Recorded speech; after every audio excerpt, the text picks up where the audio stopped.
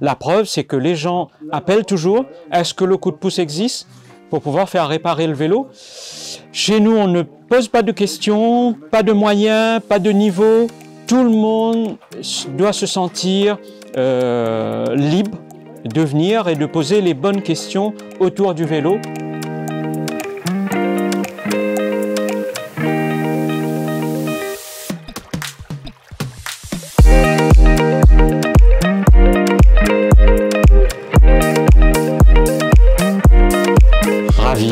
J'habite dans le quartier de Cacado depuis quelques années et je suis le coordonnateur de l'atelier. Répa Vélo, c'est une association de la 1901 qui euh, accueille des gens pour faire de l'autoréparation du vélo. Donc c'est un atelier participatif et solidaire, ouvert à tous ceux et celles qui ont envie de venir apprendre, de venir faire du vélo et de venir apprendre à réparer. Apprendre, c'est bien, mais il faut tout apprendre.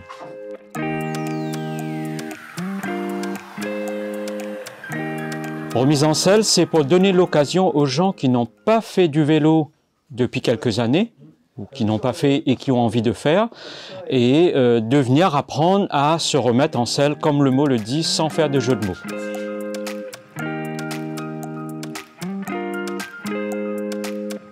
Preuve, c'est les gens qui ont envie de faire du vélo. Donc, euh, ils ont un vélo avec une roue crevée, pas de frein, euh, la selle qui bouge, etc., etc. Donc, c'est de venir apprendre à auto-réparer. Hein, euh, L'atelier met à disposition des conseils, l'outillage, des pièces pas chères ou des pièces gratuites. Donc, c'est en fonction parce qu'on fait beaucoup de récup. Et euh, ça, ça encourage les gens à venir participer et ça les motive à se remettre en selle. Alors bonjour, bah, moi je m'appelle euh, Lucas, t'es cher Lucas. On va dire que je suis rentré dans l'atelier en 2015. Bah honnêtement, je, dis- je, je m'embêtais un peu et je m'ennuyais un peu et j'avais appris qu'il y avait un atelier qui existait dans le quartier.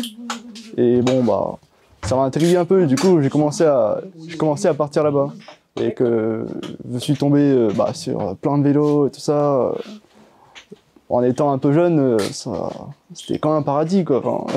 Je voulais faire du vélo et du coup bah on m'a expliqué un peu comment euh, bricoler dessus et bon ah, c'était déjà pas mal. Maintenant je suis bénévole ici et j'aide les autres à réparer leur vélo.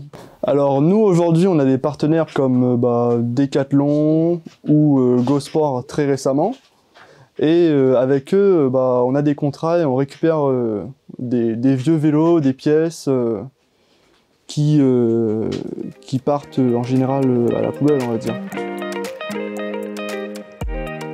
Un petit peu plus depuis que la politique a changé avec la loi de la mobilité, les pistes cyclables, les coronapistes comme on dit. On les appelle depuis l'année dernière. Et oui, effectivement, les gens ont eu ce coup de pouce pour euh, se remettre en selle. Tous ceux et celles qui avaient un vélo dans la grange l'ont sorti depuis l'année dernière et on les voit un petit peu plus et surtout que les beaux jours vont revenir. Alors, euh, on peut dire ça, oui. Alors, ici, il y en a beaucoup qui, veulent faire du vélo et qui veulent bricoler aussi sur des vélos. Du coup, bah, ça fait aussi un peu de pub pour nous. Du coup, bah, ils arrivent et on les aide un peu.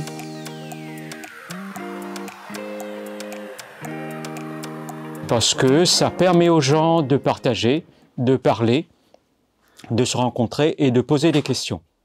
Mais euh, nous, c'est dans le vif du sujet, dans l'action, la preuve. euh, les gens viennent euh, poser des questions sur leur vélo, parce que pour nous, c'est la sécurité d'abord, hein, donc la sensibilisation autour du vélo.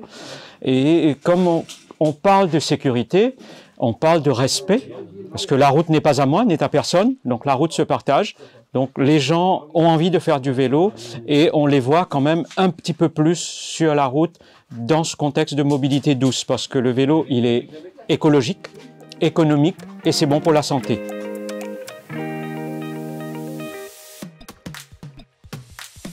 Bah, qu'il y ait plus de personnes qui vont faire du vélo, et je suis sûr et certain. Et euh, les gens, je le redis encore une fois, la preuve, c'est que les gens appellent toujours, est-ce que le coup de pouce existe? Pour pouvoir faire réparer le vélo Chez nous, on ne pose pas de questions, pas de moyens, pas de niveau. tout le monde doit se sentir euh, libre de venir et de poser les bonnes questions autour du vélo. Donc moi j'y crois et les bénévoles chez nous croient aussi parce qu'on n'est que des bénévoles à l'atelier. Alors, faire connaître l'atelier un petit peu plus, ce serait bien, mais ça a du coup augmenté aussi les responsabilités, je trouve. Mais du coup, il faudra assurer aussi euh, derrière.